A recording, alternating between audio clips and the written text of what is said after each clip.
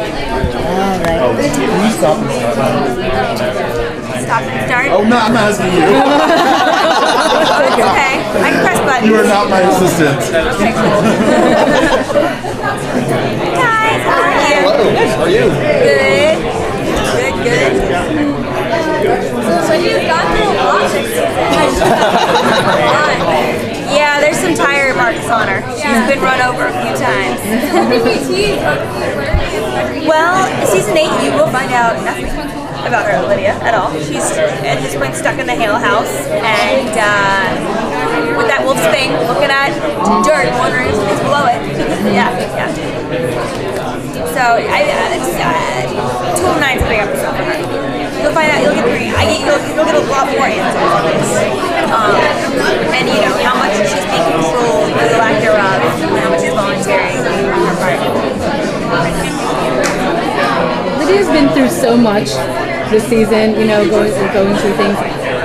How much? I mean, it pains me to see her go through so much hell, but um, her character seems to be so much more vulnerable this season. Are there going to be any major, at least for her personality, like big turning points as far as um, opening up more? Like, in, Yeah, yeah. I think that she, um, you know, had that very Tracy Flick aspect first season, which was very intentional.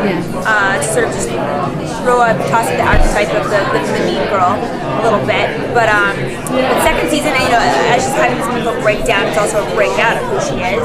And I think, you know, when anyone's vulnerable, you see who they are. I love the scene with um, Jackson and her because it's very normal high school girl scene where this guy treats you horribly, yet you still are kind of him.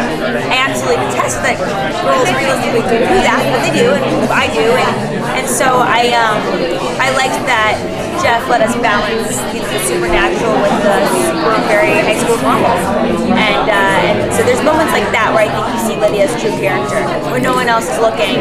We see how much she truly does love Jackson, and. Uh, it's almost like they put a facade on for themselves to each other, and uh, and that was one of the first times you saw like what she truly thought without any sort of control of anybody else. How uh, worried should Tyler be about Lydia at this point? It is a toss-up. I mean, you really don't know her intentions. I mean, she might really like the idea of being able to control everybody and live forever, you know, with Peter Hale. So it, it'll be interesting to see how it plays out. I think a lot of it plays out in season two, but then even more in season three. Okay. Yeah, I mean, lines are definitely drawn, and, and Lydia has like one side, you know, one foot on each side. You guys just got a supersized season three, 24 episodes. What have they like? Have they told you much about? I mean, you just mentioned that stuff is going to happen in season three. How much have they told you about season three? We find out like before we shoot each episode what's going to happen. they don't they don't say much as far as like you know the overall art. Um, so it's it's definitely a fly by the seat of your pants kind of thing, um, which is which is fun. I mean everybody has their own style of working and and, and yeah ours is like we just get to find out what we get to find out like so I mean you kind of have an idea of probably where it's going. And, uh, and we get like little tidbits here and there.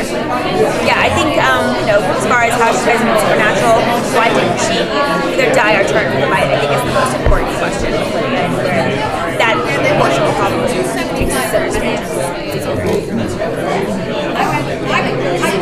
In the long run, do you see Lydia getting together with Stiles or with Jackson? It's so tough. I think Monday, Friday she'll be with one, and then the other, you know. I um, Lydia probably would coordinate like a gold star first grade chart like that. Um, but I would really like. I think the witty banter would be really fun with Dylan as an actor. I think Stiles and Lydia would give each other a run for their money. But I think at the end of the day, she truly loves Jackson, so that's really hard. You know, which one do you choose? Well, I mean, I like Stiles, but I'm know everyone. I've got I've gotten all hybrid, the Judea and the like Lyles or whatever. You know. Yeah, yeah. I don't know. I don't know. I, I for me, it's it's a toss up. I think that Jackson's probably the long run because that's what she truly loves. I think in the short run, what I mean, Stiles is fun. I love Stiles. Yeah. We saw Lydia and Allison kind of have a nice friendship scene this season. Are you going to see that develop and they become better friends? depends, I think, where Lydia lies. And how much she's going to choose to tell people where she lies. So she might keep up like a front of me kind of thing. Um, it might be a friendship either way. It depends if it's a real friendship or not. But guess, that's that's Jeff's territory at that point. But I don't know. That's if I had to guess. I think that's Lydia as a person. Keep cards cards pretty close. Yeah. Do you think there are any upper limits to Lydia's intelligence? I mean, we just found out recently, like, I know it's archaic, archaic Latin, because everyone does. you know? Yes, but I mean, Right. whenever anyone needs to know something about, she seems to be there for them. Is there, do you think there could be upper limits? You know, that's that's really. I saw the movie Limitless recently with uh, Bradley Cooper, and I loved that that idea. So I mean, I would be interested to see what would happen if she took, you know, takes on some sort of uh, supernatural element, how that would affect her intelligence.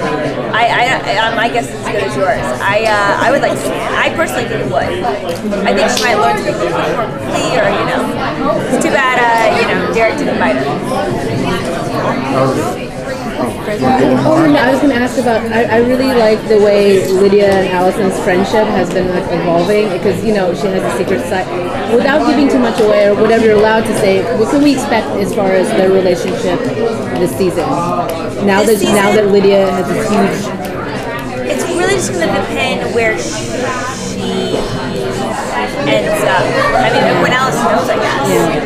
You know, it depends how much people find out about what Lydia's been going through. And if Allison's going to judge her for that or not.